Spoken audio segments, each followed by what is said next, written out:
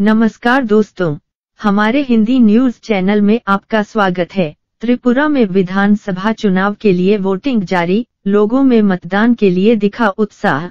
अगरतला, नई दिल्ली, त्रिपुरा में आज 18 फरवरी, को 60 में से उनसठ विधानसभा सीटों पर सुबह सात बजे से वोटिंग जारी है। प्रधानमंत्री नरेंद्र मोदी ने त्रिपुरा के लोगों से अपील की है कि वे बढ़ चढ़कर वोटिंग में हिस्सा लें। राज्य भर में 3,214 मतदान केंद्रों पर वोटिंग हो रही है।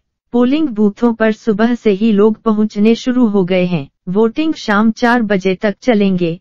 चरीलम विधानसभा सीट से माकपा के उम्मीदवार रामेंद्र नारायण देव वर्मा की पाँच दिन पहले हुई मौत के कारण इस सीट पर चुनाव 12 मार्च को होगा। राज्य में हो रहे विधानसभा चुनाव में पहली बार भारतीय जनता पार्टी बीजेपी सत्तारूढ़ वाम दल के सामने प्रमुख दावेदारी पेश कर रही है। वाम दल पिछले 25 सालों से राज्य में सत्ता पर काबिज है। राज्य में अनुसूचित जनजातियों के लिए 20 सीटें आरक्षित हैं। अगरतला के भाती अभय नगर के बाहर मतदान केंद्र बूथ संख्या 6 बटा बीस पर सुबह 9 बजे के बाद लोगों की भीड़ देखने को मिली। उदयपुर विधानसभा सीट के एक पोलिंग बूथ पर सुबह से ही महिला वोटरों की लंबी लाइन दिखी।